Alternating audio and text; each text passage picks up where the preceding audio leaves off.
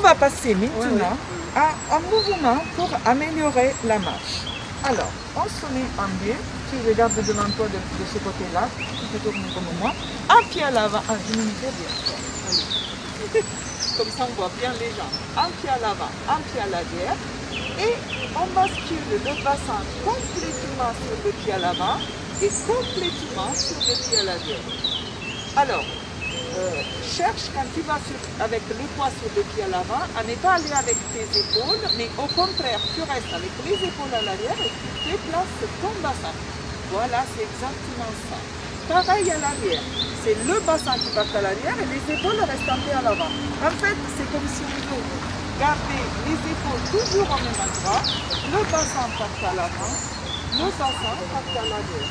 Et les épaules, plus ou moins, restent au même endroit. Rentre les ventres, relâche. Les épaules vont un petit peu vers l'avant là.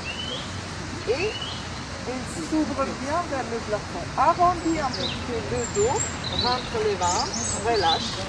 Et inspire, redresse-toi.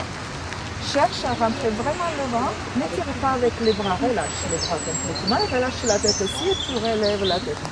Vous voyez, la posture change complètement. Relâche la tête, relâche les bras, tout est relâché. Et on redresse. Très bien. Très très bien. Et voilà, ça c'était pour améliorer notre marche.